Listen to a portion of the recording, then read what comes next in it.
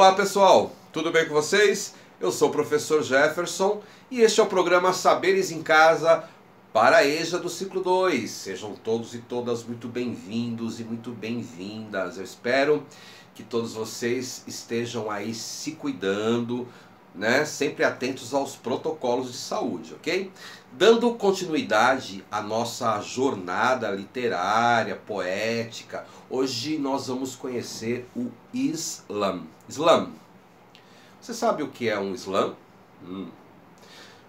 Já ouviu algum? Participou de algum? Se você não conhece o que é o Islã, nós vamos conhecer juntos. Hoje nós vamos imergir aí um pouquinho nesse mundo do Islã. O Islã também é chamado de poesias faladas, poesia falada. Sua principal característica é que ele, o Islã, é realizado por uma batalha de rimas, onde os versos são declamados ou falados em público, né? No meio do público. Olha que arte. Embora as raízes do Islã elas é, remetam aí à antiguidade, né? Vamos pensar aí na Idade Média, por exemplo, a exemplo dos trovadores, né? O gênero da forma que conhecemos hoje, ele surgiu em Chicago, e Chicago fica nos Estados Unidos. Sabe que ano? Nos anos 80, através da ideia de uma batalha de poesias. Quer batalha melhor do que essa? O Islã foi introduzido no Brasil através de uma mulher. Show de bola, hein? O nome dessa mulher é Roberta Estrela Dalva. Olha que interessante. Foi introduzido através do Zap. Zap, aquele Zap? Não. Zap quer dizer Zona Autônoma da Palavra e fica em São Paulo. A Slammer, né, como é conhecida a mulher, a poetisa, né, é, é, brasileira, essa brasileira é a mais conhecida pela mídia e ela é referência no país, pois ela conquistou o terceiro lugar na Copa do Mundo de Poesia Slam em 2011. Sabe aonde? Em Paris. Pouco, né? Pois é. Originário do inglês, o termo slam quer dizer batida batida, sim, algo semelhante a uma pancada, mas qualquer descrição que se faça nunca dará conta dessa amplitude, né? Da amplitude que essa vertente da cultura urbana alcançou. Veja você, nem do impacto que ela tem na vida de inúmeras pessoas. Uma mistura de arte com rap, saraus e batalha de MCs. Isso é o Islã. Utilizando quase sempre a literatura marginal ou, melhor, a literatura periférica. Né? Se expande como expressão da poesia cantada, constituindo cenas culturais dentro da cultura hip hop. Você já ouviu falar? Mas literatura marginal, isso não deve ser bom, não, não é nada disso. A literatura marginal é um termo que apareceu por volta dos anos 70, né? E lá nos anos 70, na época da ditadura militar, hum, tem como principal característica a quebra de padrões literários daquela época. Né? Então, os anos 70 eram, eram anos de repressão, né? Pois é, é importante lembrar que a década de 70 ela foi uma das mais opressoras para os intelectuais do país, com grande repreensão à literatura de expressão. Veja só. No final dos anos 80, o termo literatura marginal ganhou também a correlação com o nome literatura periférica, dando voz à sociedade da periferia, né? e passou a ser um grito da própria sociedade para o mundo. Isso é uma vitória, né? Nosso amigo Sérgio Vaz, aí, esse grande poeta que nós já, já trouxemos aqui algumas vezes, né? ele é um dos, dos maiores representantes desse movimento. Um dia ele falou assim: Olha, eu gosto do termo literatura periférica, porque diz de onde viemos, né? Antigamente falavam da gente, hoje falamos nós mesmos da gente. Fantástico, né, Sérgio? Sérgio Vaz. Voltando ao Islã, os participantes que declamam suas poesias, né, eles são chamados de Islamers, né? Então, o participante chama Islamers, né? Os slams, né, essas batalhas de poesias, de poesia falada, seguem algumas regras, né? As poesias precisam ser autorais, né? E podem falar de vários assuntos. Por exemplo, racismo, violência, né? Entre outros aí, né? Despertando aí a plateia para uma reflexão crítica, né? Então leva todo mundo a pensar mais sobre, sobre esses temas, né? Nos slams não são utilizados objetos cênicos, então não tem cenário, né? Não tem figurino e nem acompanhamento musical, né? É o corpo e a voz. Esses são os elementos fundamentais aí num, num, numa prática de slam, né? Um júri popular é escolhido no momento da competição, né? na plateia, na hora aí, pelos organizadores do espaço. Então, eles escolhem na hora. Tá lá uma roda lá de pessoas que vão, vão fazer um slam lá para todo mundo ver, e aí escolhe você, você, você. Hiper legal isso, né? Democracia, né, pessoal? Um slam é muito parecido com saraus. Você já deve ter ouvido falar, né? Aí, com algumas regras diferenciadas, né? Claro, como as poesias devem ser de autoria própria, criada pelo Islã, né? Então é o próprio Slammer lá, a pessoa que criou, que inventou, né? A arte dele. O cenário ele deve ser livre, né? Sem modificações. A poesia ela deve é, nascer dentro de você. Né? As criações dos versos devem nascer aí da realidade em que se encontra, né? que a pessoa se encontra. Os jurados, como eu falei, eles são escolhidos aleatoriamente na plateia. Né? Eles, eles, o que, que eles fazem? Eles têm que avaliar e dar as notas, dar notas aí às rimas e às poesias, né? Então tem que prestar, para ser jurado, tem que prestar bem atenção. No Islã são recitadas poesias de temas livres, mas verifica-se ao longo do tempo que grupos historicamente excluídos vêm se utilizando dessa expressão artística como forma de reivindicar seus lugares de direito, né, de dar aí visibilidade às suas lutas se colocar né, como protagonistas da, da, de uma história, da história, né, das suas próprias histórias. Né. Algumas palavras próprias das competições do Islã. Então vamos, vamos aprender um pouquinho do vocabulário lá do Islã. Né? Islam Master. O que quer dizer Islam Master? Islam Master o apresentador, né, é o apresentador que conduz a cerimônia lá do Islã ou a competição, né? Slammer, como eu falei para vocês, é o poeta, é o competidor, o slammer, né? Correr. Correr, o que quer dizer? É o ato de falar, declamar a poesia, né? Paul.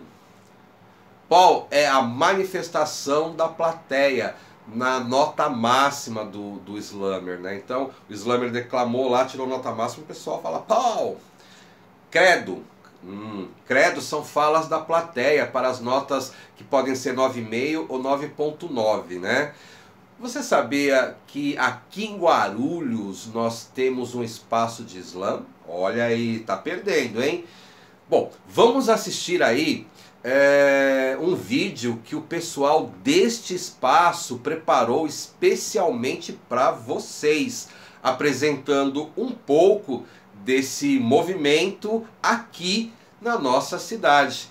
Vamos assistir o vídeo do Islã do Prego, é o nome. Depois voltamos para a gente conversar mais um pouquinho sobre Islã. Então, presta atenção aí. Salve, salve! Eu sou Wesley do Oeste, sou MC da cidade de Guarulhos. É, recebi o convite da Luciana aí do projeto educacional Saberes em Casa para falar para vocês, aluno do EJA, sobre um pouco da nossa cultura do Islã do Prego aqui na cidade de Guarulhos. É, Para quem não conhece, Islã é um movimento de poesia falada mundial que também é conhecido por spoken word. e Poetry Slam é, foi fundado nos Estados Unidos e popularizado aqui no Brasil através da Roberta Estrela Dalva. É, alguns de vocês podem conhecer, né? Teve o programa Manos e Minas na TV Cultura por muitos anos, né? E o Zap Slam é o primeiro slam do, do Brasil. E ele se difundiu essa cultura né, da resistência, da poesia falada, de recitar, de soltar a voz, de dizer aquilo que você quer dizer, recitar amorosamente, ou um protesto, um manifesto. E nessa cultura, falando um pouquinho sobre o slam do prego, é, ele ele, esse nome, Prego, ele significa Poesia de Resistência de Guarulhos. Foi fundado aqui na cidade em 2017. Em janeiro, a primeira edição, a equipe era Joel, a Rosinha Moraes e a Amora. E a Amora ficou na liderança em 2018 e 2019. É, eu participei em 2017, em 2018, e a partir de 2019 eu comecei a fazer parte da equipe, né, sendo matemático junto da Amora e mais alguns colegas.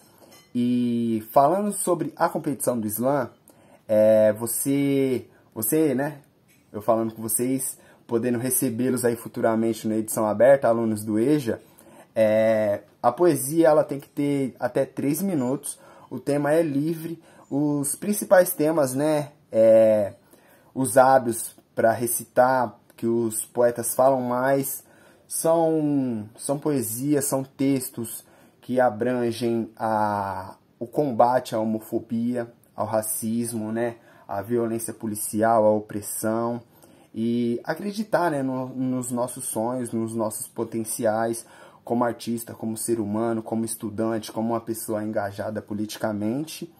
E falando um pouquinho sobre a competição, o slam ele acontece nas quebradas e ele gera uma vaga para o slam SP e do Slam SP tem o Slam BR e o vencedor do Slam BR representa o Brasil no campeonato de poesia falada na França, que agora teve uma mudança, vai ser na Bélgica. Mas isso aí vocês vão poder acompanhar depois aí com, com as próximas programações que estamos elaborando para o nosso Slam do Prego.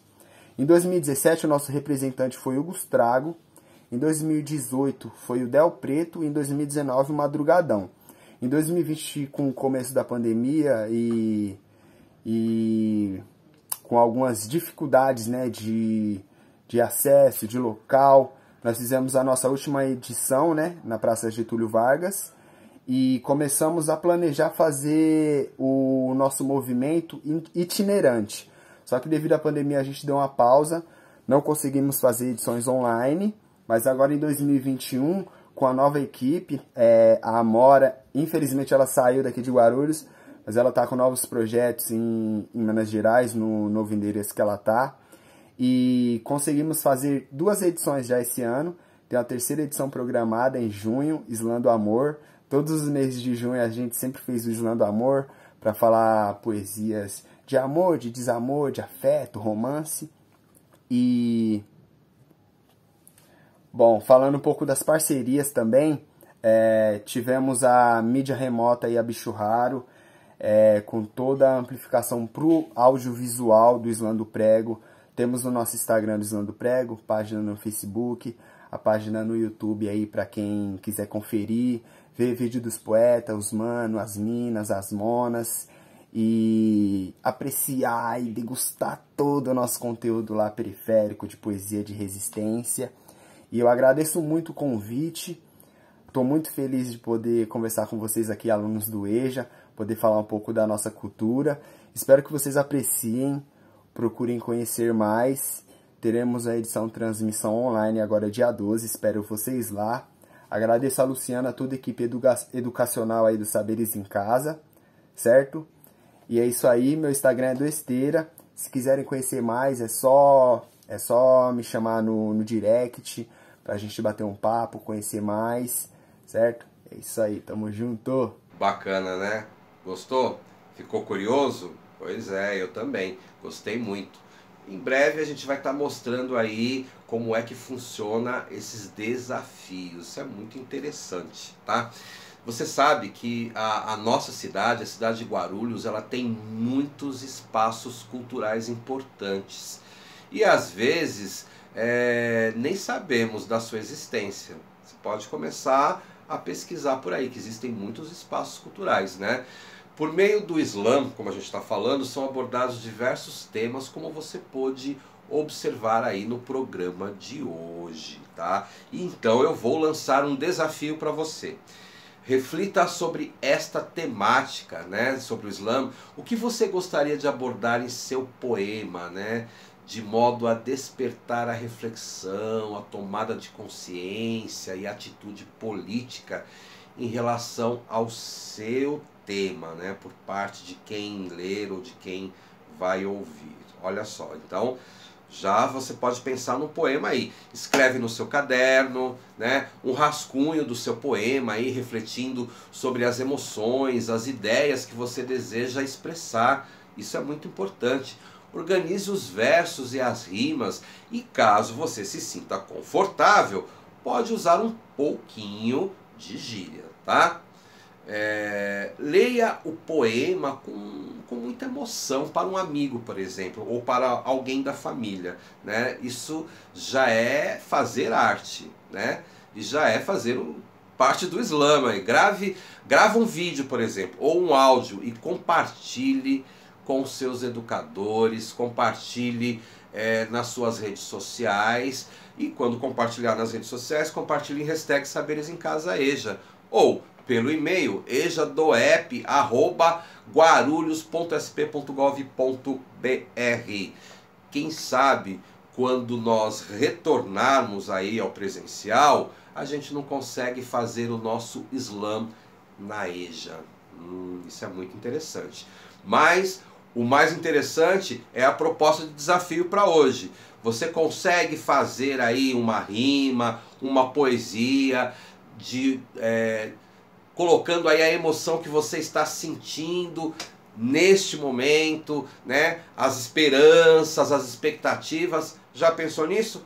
Então tá, esse é o seu desafio, ok? Desafio lançado, proposta dada. Estou aguardando aqui para a gente mostrar nos nossos próximos programas de junho, ok?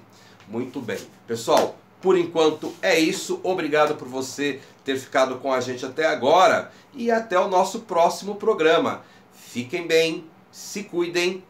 Grande abraço. Até lá.